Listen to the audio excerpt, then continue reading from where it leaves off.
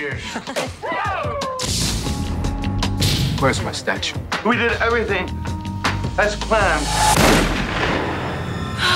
You're gonna give me a million. I'm gonna have each one of you executed. I work for a life insurance company, people. What do you mean? We just happen to have a million dollar policy on our dead friend. The victim would have to be one of us. Would that mean the killer would have to be one of us, too?